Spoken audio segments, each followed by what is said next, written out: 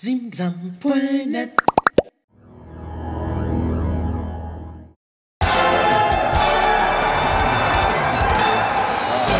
Vendredi, les amateurs de sport ont eu droit à une cérémonie d'ouverture éclatante pour le 46e tournoi Bantam de la Sarre.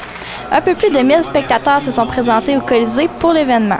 Pour la cérémonie d'ouverture, les dignitaires ont été nombreux à souligner leurs appuis envers les organisateurs du tournoi. J'aime le tournoi Bantam parce que l'avenir du hockey passe par cette catégorie-là. Ce sont toujours des jeunes qui se donnent à fond. Puis moi, je trouve ça tellement intéressant. Et c'est pour ça que ce tournoi-là est, si important dans le calendrier.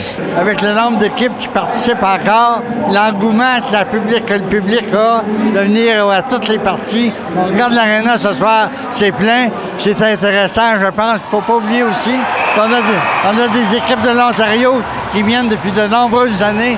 Ce soir, on a Hearst, on a Iroquois Falls qui sont en train de jouer.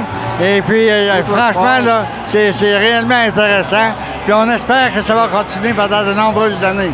Une 46e édition, ça se fête. L'équipe hôtesse, le Lion de la Sarre, recevait pour l'événement le HLK de Hearst. C'était une partie qui promettait beaucoup d'émotions pour les amateurs de hockey. La première année que j'ai assisté au tournoi, c'est il y a deux ans, lors de ta première année à toi personnellement comme président. Et j'avais été tellement impressionné le vendredi soir, je l'avais parlé avec mes patrons et tout ça, j'ai dit, faut y retourner. Puis on était là l'an dernier aussi et cette année, la foule incroyable. Moi, j'en reviens pas de voir à quel point les gens, pour eux, à la Sarre, c'est un tournoi qui leur tient à cœur. Hier, c'était l'arrivée en, d'entrer en action de la plupart de nos clubs qui viennent de l'Ontario. Puis on voit une, bonne parité au sein des différentes classes. Le match s'est finalement terminé 1-0 pour l'équipe locale qui a connu la victoire grâce à un but du numéro 16, Jonathan Melançon. Ben, c'était spécial surtout à la SAR parce que ça fait plusieurs années que je regarde ce tournoi-là. Puis là, moi qui ai marqué le but gagnant, j'étais bien content.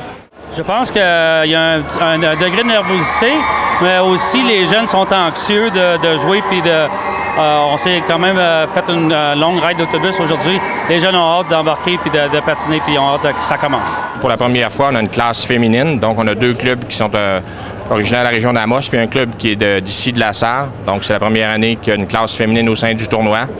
Euh, euh, D'ailleurs, cet après-midi, il va y avoir un match euh, ici sur place euh, entre Amos et la Sarre.